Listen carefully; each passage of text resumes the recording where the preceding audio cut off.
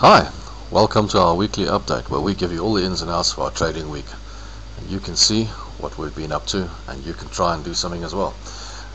Our first trade is the bulletin trade what we uh, sold during the week. And as you can see she's had a nice long uptrend here.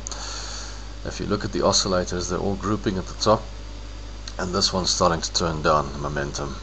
So we sold her up here at the 280 mark, a little bit before our target. Our target was 285. We sold her around the 280 mark, looking at the situation on the technical side and decided to get out. She has moved up to 283, 281 during the week, but she's back at 280 again, and she looks like she might just trend down now. Uh, if we move on to Sasol, we can see on Sasol, with the oil price being down a little bit, a little bit of weakness in the markets. Um, even though we've got this uptrend we can see she's pulled back again. She's come back down to the 365 366 levels. Uh, we are holding a stop loss at 360 but we don't expect this one to carry on going down. If you look all the oscillators are grouping at the top bottom. The stochastic um, is, is right at the bottom. Uh, our momentum is, is still pointing down ease of movement is still pointing down but we do expect to turn and uh, I'll see this one going back up to 390 again probably before the end of December. So we're not too concerned about Sasol um, but we are concerned about Exxaro Exxaro we traded um, at the 156 levels expecting her to easily go up to the 170 levels. Um, even though she's got this this long uh, nasty downtrend here uh, she should still have traded back up to the 170 levels if you look at the uh, oscillators. Now we traded her around about here somewhere where the oscillators were pointing up and she's uh, refused to confirm and she's come back a little bit.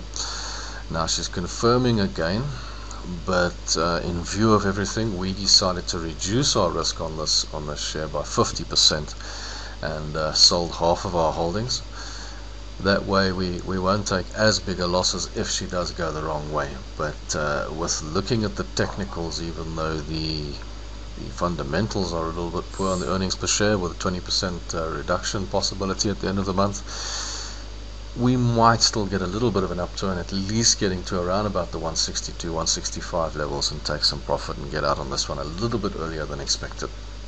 Looking at uh, Steinhoff Steinhoff is a great trade.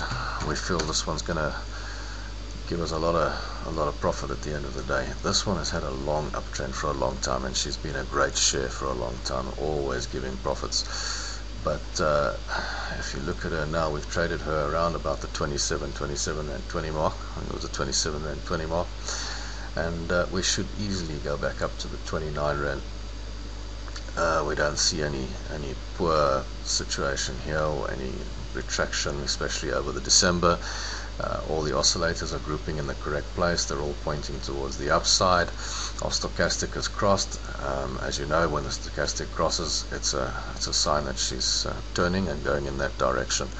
So we're very happy to hold Steinhoff at the moment and we expect that one to uh, us out quite well. As you know we were holding SPAR. now SPAR... um, we took her based on the fact that she was paying a dividend uh, last week and uh, we expected that to to rise up but it didn't. It's been pretty flat uh, but it does have a long uptrend. It is a very strong company and a strong share. Uh, so we've decided to keep her to hold her uh, bearing in mind that we have collected the dividend of 2 rand 75 uh, which reduces our cost from 122 to around 120 making it a lot easier for us to hold this share and we expect she, she still will get up to 128 and make us a little bit of profit at the end of the day now a lot of people including ourselves were looking at the, the Mr. Price trade now Mr. Price trade uh, looked great but it does concern us a little bit because it does have this this opening wedge situation which normally points to a rather nasty turn down somewhere around these levels.